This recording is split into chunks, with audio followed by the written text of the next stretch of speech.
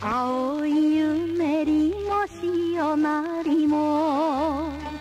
消えておきゆく船も流氷が来ると海の音が消える町北海道オホーツク紋別。だが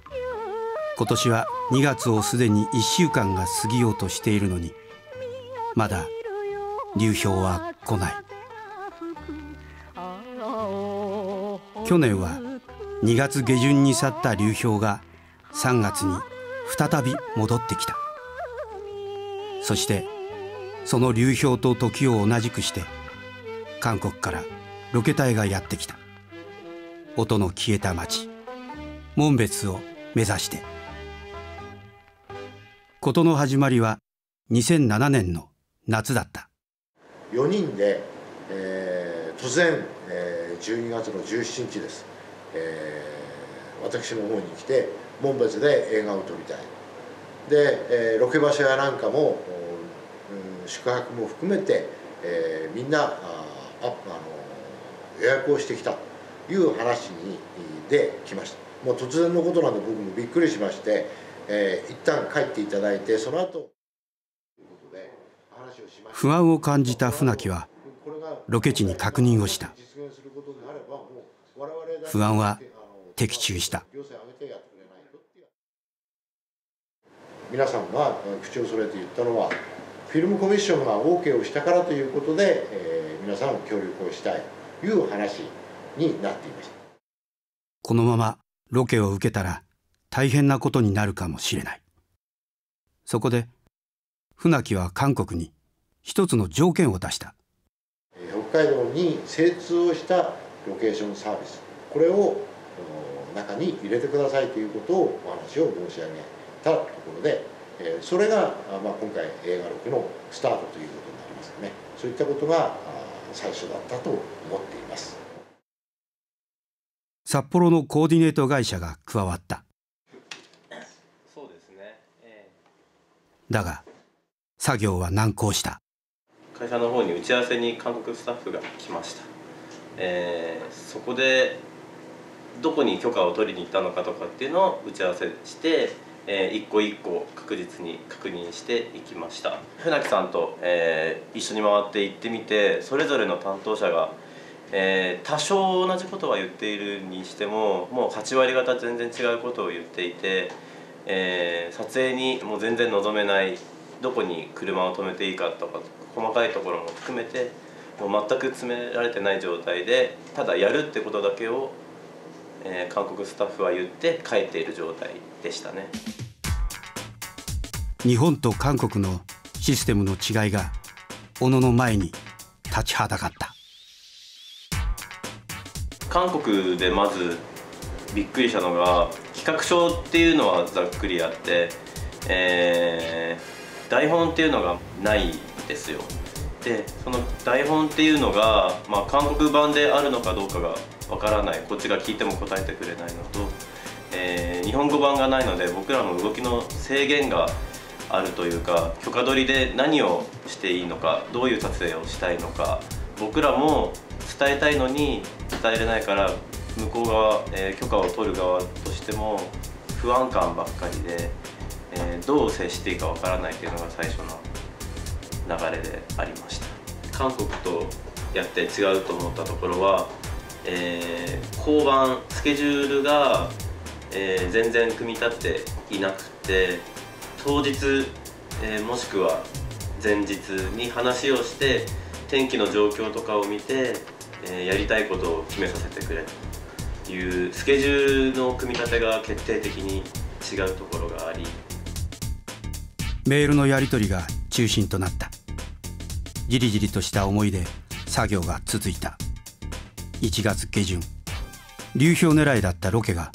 突然延期になった。2月の中旬に撮影予定だでその予定でずっとスケジュールを組んでて流氷のことも紋別の船木さんと相談していてその時期だったら大丈夫って言われていたスケジュールが、えー、20日間ぐらいずれて3月の頭から撮影になりでそれだともう流氷は来ないかもしれないよっていうところで、えー、韓国には言ってました。流氷は諦めるしかなかった。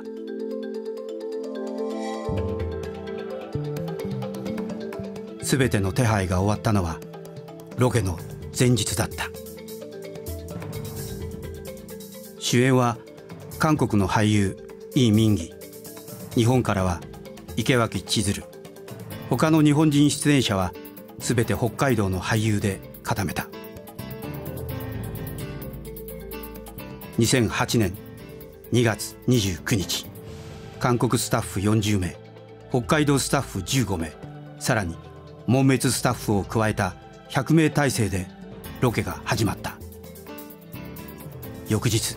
流氷が戻ってきた。新聞各社が注目し門別ロケを一斉に記事にした。高校に依頼してブログを作った。取材は毎日続いた。一番印象的だったのは仕事の合間を縫って、まあ、スタッフの方に毎日そのインタビューさせていただいたんですけれどもその中で「この仕事のやりがいは何ですか?」っていう生徒の質問に大変なんだけどその一つの大きなプロジェクトが終わるとそれが終わった時にこう人間関係が今よりもずっと増えてるっていうところがまた次頑張ろうって思ったりそのやりがいなんですっていう話を取材して持ってきた時に生の働いている人の本当に感じている言葉としてこう伝わってきて。あこういうことを生徒たちが触れられたんだっていうのはものすごい財産だったなっていうふうに感じました有名人に会うからとかそういうところじゃなくて一つの映画作るのにこんなにたくさんの人があの雪を降らせたりとか そういうすごく地味な仕事をやってることの積み重ねで一つの大きい作品が作られてるんだなっていうのを肌で感じることができたっていうのは本当に良かったなってすごくやりがいを感じた。日増しに生徒たちが変わっていったブログを担当した生徒の一人岡本さんに話を聞いた今までクラスとかもずっと別でほとんど喋ったことのない